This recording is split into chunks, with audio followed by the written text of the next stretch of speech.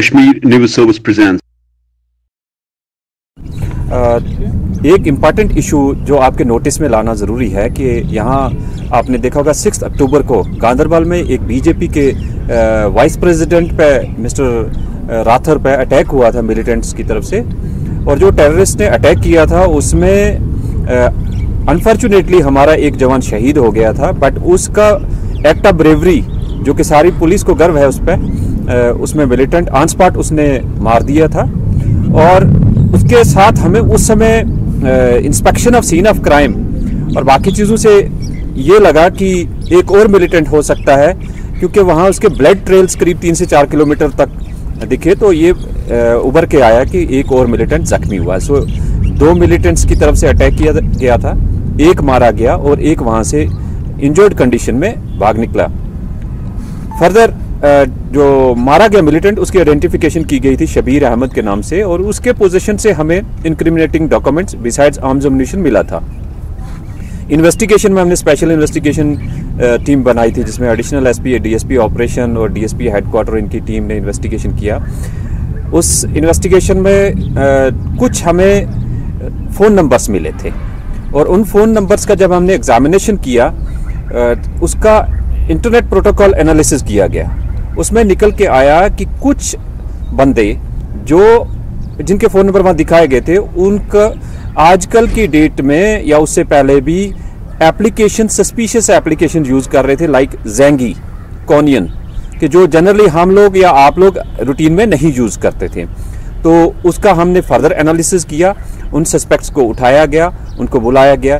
Further interrogation जब किया तो देन फैक्ट्स uh, उन्होंने डाइवर्ज किए वो क्वाइट शॉकिंग थे। पता चला कि हमारे गांधरबल में सर्च के दो लड़के हैं। एक का नाम केसर है एक का नाम आसिफ है। और एक आ, आ, कंगन में एक जगह है वहाँ से एक लड़का हिलाल करके। ये तीनों सिक्योरिटी गार्ड का काम कर रहे हैं स्किम्स में और इन्होंने कुछ तो एटीएम पे है और स्किम्स में है एजेंसी के साथ काम करते हैं कि इन्होंने ही ये प्लान बनाया ये हमजा हिजबी के साथ फेसबुक पर चैटिंग करते रहे और उसके बाद उनको डायरेक्शन दी गई पाकिस्तान की तरफ़ से कि आप बीजेपी के वर्कर्स को आइडेंटिफाई करें या कार्डर को आइडेंटिफाई करें और उनको आइडेंटिफाई करने के बाद रैकी करें और उनको टास्क दिया गया था कि इनकी किलिंग करनी है।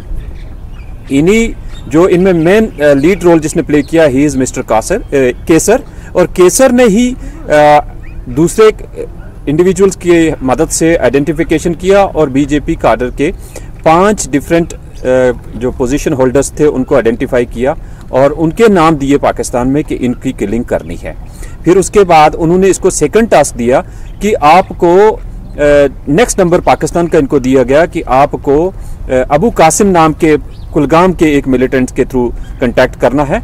और फिर ये प्लान एग्जीक्यूट करना है। फर्दर इनको एक अननोन पर्सन हबा कदल श्रीनगर में मिलता है और वहाँ जाके इनको कंसाइनमेंट ऑफ़ वेपन्स एंड कुछ फ्लैग्स दिए गए। अब जब रिकवरी में आप देख रहे हैं, यहाँ फ्लैग्स रखे गए हैं और इनको उस समय दो पिस्टल्स दी गई थी और साथ में आर्म्स अमनीशन था, कुछ डेटोनेटर भी हैं।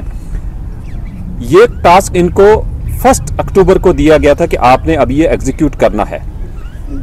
इसके साथ उन्होंने सेकंड प्लान बताया कि आप अभी वेट करें, हम सेकंड प्लान हमारा ये कि सेपरेट टीम आएगी वहाँ से।